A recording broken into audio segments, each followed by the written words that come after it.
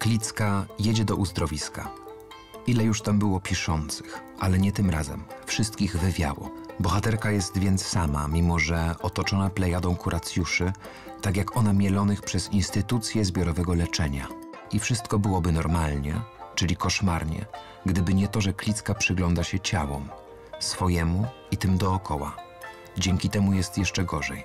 Ta książka nie leczy, ale może uzdrowić.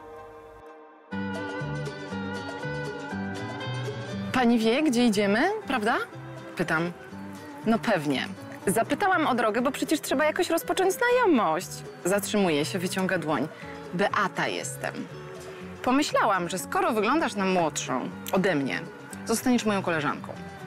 Zobaczysz, młodsze koleżanki to tutaj coś bardzo cennego. Myślę, no nie ucieknę. Mam wielką walizkę. Myślę, nie wolno mi biegać. Myślę, co ja tam wiem. Ona wie, a skoro wie, to wyciągnij tę rękę i ładnie się przedstaw. Kama, mówię, z Warszawy. Znowu idziemy, to znaczy ja idę za nią, bo ona idzie za mną walizka. Z Warszawy, powtarza ona z lekkim zawodem w głosie. No to nie najlepiej. Ty wiesz, że ludzi z Warszawy nikt nie lubi? Wiem, Mówię, bo rzeczywiście trudno tego nie wiedzieć, jeśli się człowiek czasem rusza ze stolicy.